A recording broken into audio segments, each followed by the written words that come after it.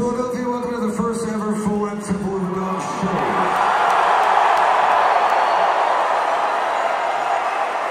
It satisfies your purpose, just so you know that.